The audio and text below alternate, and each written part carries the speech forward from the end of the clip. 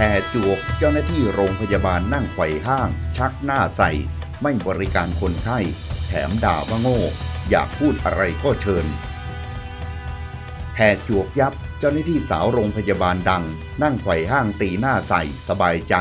ไม่ยอมบริการคนไข้ แถมด่าญาติคนไข้ว่าโง่ อยากถ่ายคลิป อยากพูดอะไรก็เชิญ เต็มที่ทำชาวเน็ตวิจารณ์สนั่น วันที่ 4 พฤศจิกายน 2565 เวลา 12นาฬิกา22 นาที Daily News ออนไลน์รายงานว่า เรียกได้ว่ากำลังกลายเป็นอีกหนึ่งเรื่องราว ที่ชาวเน็ตบนโลกออนไลน์ ต่างพากันวิพากษ์วิจารณ์อย่างร้อนแรง ภายหลังบัญชีผู้ใช้ Facebook รายหนึ่ง ที่ใช้ชื่อว่า สยุมภูรอดมี ได้โพสต์คลิปวิดีโอสุดเดือด หลังเข้าใช้บริการณโรงพยาบาลแห่งหนึ่ง แต่ปรากฏว่ามีปากเสียงกับเจ้าหน้าที่สาวในโรงพยาบาล พร้อมระบุข้อความว่า อยากดังจัดไป โดยในคลิปวิดีโอจะเห็นได้ว่า ทางคนไข้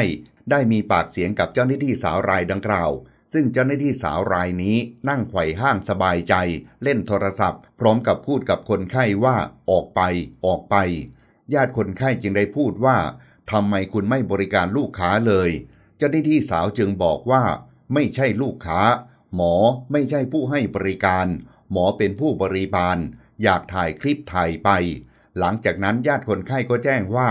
คนไข้มาเพื่อรักษาไม่ได้มาเพื่อให้คุณด่า และเจ้าหน้าที่สาวก็พูดว่า อยากพูดอะไรก็เชิญ ตามสบาย เต็มที่ หลังจากนั้นทางญาติคนไข้ก็พูดว่า นี่มันกินเงินรัฐบาลนะพวกคุณ และนี่ก็มาจ่ายเงินไม่ได้มาฟรีๆไม่ได้มาบัตรทอง 30 บาท เงินมีจ่ายคนไทยด้วยไม่ใช่ต่างด้าว ไม่ใช่ต่างแดน มีบัตรประชาชนคนไทยทำไมคุณทำแบบนี้ เต็มใจทำงานไหมเนี่ย ทางเจ้าหน้าที่สาวจึงบอกว่าไม่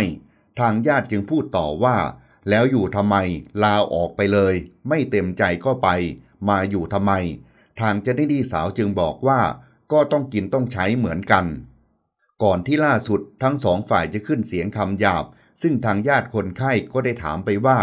ถ้าเป็นญาติของคุณ คุณจะทำแบบนี้ไหม ซึ่งทางเจ้าหน้าที่สาวก็ตอบไปว่า ฉันก็จะทำแบบนี้เหมือนกัน ถ้าญาติฉันโง่ขนาดนี้ ซึ่งหลังจากนั้นก็มีการต่อว่ากันเรื่อยๆ และเสียงดัง จนทางเจ้าหน้าที่รักษาความปลอดภัยจะเข้ามาเจรจา และคลิปวิดีโอดังกล่าวสิ้นสุดและตัดจบไป อย่างไรก็ตาม ภายหลังคลิปวิดีโอดังกล่าวถูกเผยแพร่ออกไปเป็นสาธารณะ